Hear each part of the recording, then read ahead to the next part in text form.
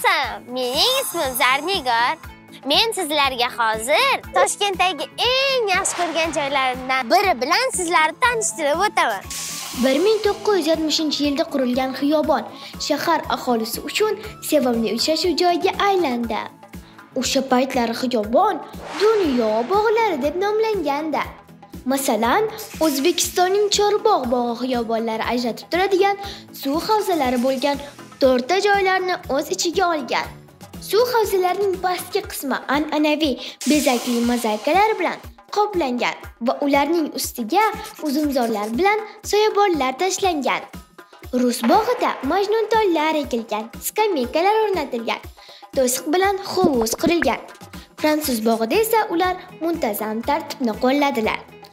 Qirilgan ko'katlar, ko'p qirrali favoralardan foydalanishda. Yapon bog'ida an'anaviy darvoza, shovqinli suv havzasi va kichik sharshara bilan olib boradigan oy yo'li bor edi.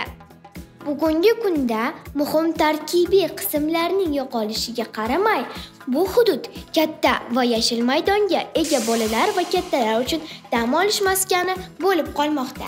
Qani endi siz ham o'zingiz yaxshi ko'rgan joyingiz bilan bizni tanishtiring.